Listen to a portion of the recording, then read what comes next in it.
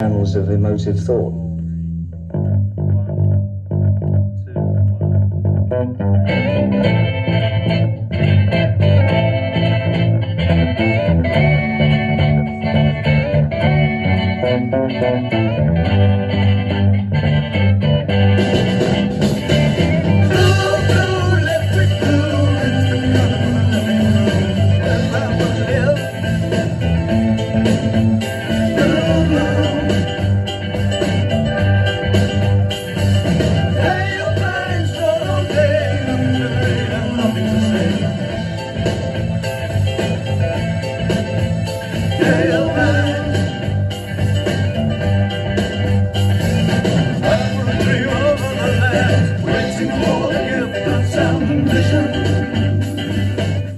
Things that I do these days are on the occasion of the studio.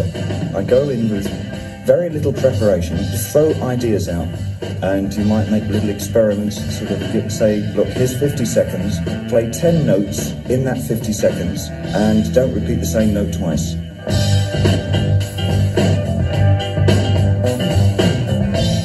Now, that sounds like an awful easy thing to do.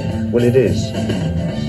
You see, you must understand, I mean, it sounds incredibly indulgent, and indeed it is, because what I'm trying to do is mold uh, the traditional methods of rock and roll with newer processes, trying to find a, a new form of language.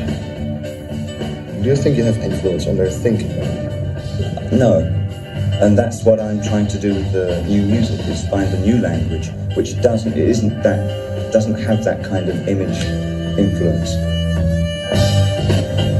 Do you think people uh, will understand that language? Yes, because I think people, especially in the city context, think in fragments.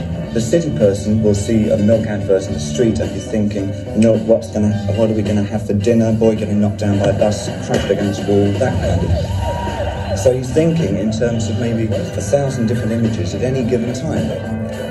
And uh, the language that Brian and I are sort of producing is a language that can relate to that way of thinking.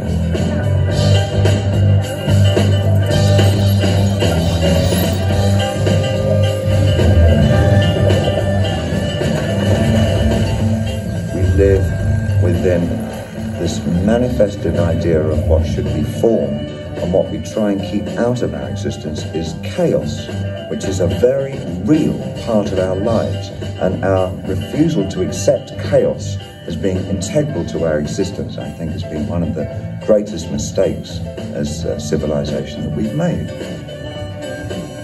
My work as an artist has always been to do with transition. The nature and study of change in our particular era is most important because never in our history has there been such a rapid curve of change since the Industrial Revolution. I'm a fairly